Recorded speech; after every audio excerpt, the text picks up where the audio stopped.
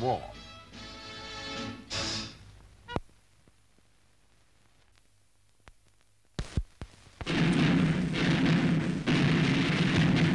This is Movietone.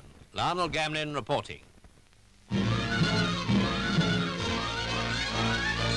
It's not likely that we shall forget last winter in a hurry, a winter that caused tremendous damage to livestock, or the bitter frosts that made us all shiver for weeks and spread ruin over the countryside. The floods that followed caused terrible hardships and put hundreds of thousands of good acres right out of action. Naturally, the story doesn't end there. Owing to frost and flood, ploughing was late, with serious consequences to our food supplies. And that leads the Minister of Agriculture to give us a timely reminder of the work still needed to be done, Mr. Tom Williams. The elements have been uh, merciless this past eight or nine months.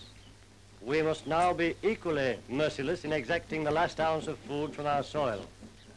I need uh, not appeal to the farming community, they know. But you townspeople can render very real assistance. We want more volunteers for the harvest period. We want more members of the Women's Land Army. And please don't forget the value of our allotments to our national food supply. And those of you with a back garden can help us materially. It's an all-out effort and we hope the nation will all join in. Market gardeners, allotmenteers and backyarders can all play their part, just as they did during the war, and without a doubt they will.